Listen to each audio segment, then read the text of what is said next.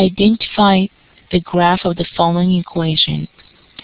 9x squared plus y minus 9 equals 0. Notice that we have one squared term, which is x squared, and a one, one first degree term. So this is going to be parabola.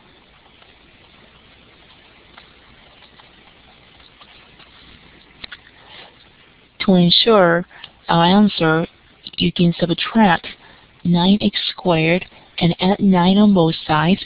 So we have y equals negative 9x squared plus 9. This is a parabola formula, which is y equals x minus h squared plus k. This is the standard form of a parabola.